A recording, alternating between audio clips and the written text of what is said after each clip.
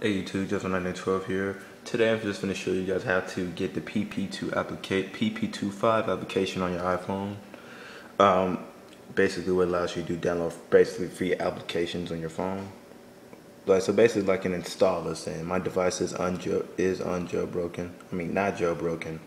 So this will probably pretty much come in handy probably for you know for you know for temporarily uh, so I'm gonna, this what I'm gonna do. I'm gonna delete that. Delete the app. So as you see, it is delete. As you see, it is deleted. So basically, you have to do download the PP25. You can down. You should download the latest one. Then after that, once you click on it, you see a key and uh, the application. I, personally, I, I do not know what this key for, but I know this basically is the app. So all you gotta do is click it and then as you can see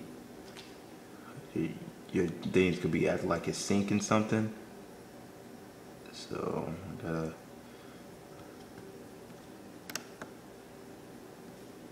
let me see if it's trying to make sure make it download in this section if not just give it at least a couple minutes.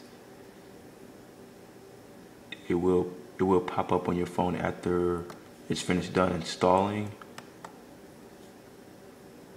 so, bam! As you can see, it as you see, it's um, it's uh, it's successfully downloaded to my phone. So, all it takes about what a couple minutes or so. So this is just 112 here. Uh,